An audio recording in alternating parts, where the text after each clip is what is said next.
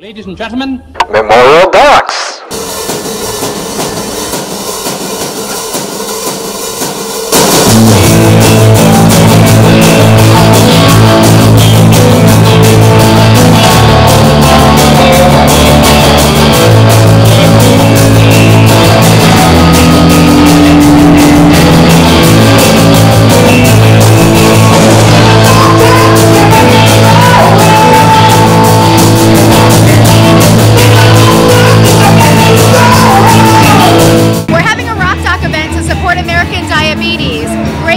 Our physicians are coming together as well as a team and all coming together to perform this evening in support of American diabetes. They're great, great physicians. We never knew that they were so talented outside of, uh, you know, being a physician, but they have a lot of talent and put in a lot of time, a lot of energy to make sure that the crowd really has an